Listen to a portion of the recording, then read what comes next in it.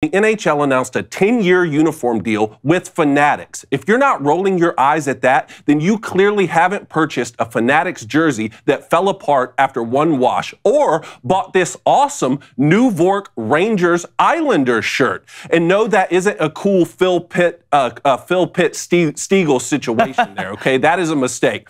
These are the problems that arise when the people in charge of professional hockey don't love professional hockey. You love it. They love money, which is fine. I'm fond of the stuff myself, but don't alienate your core demographic for the sake of growth initiatives such as hockey is for everyone. Let me tell you, hockey is not for everyone. Hockey is for a very specific and slightly insane specimen of human being who straps knives to his shoes, skates around on ice, and runs into other people as hard as he can. That is not for everyone. If what you mean to say is watching hockey is for everyone, then how about make it a little easier for me to do so?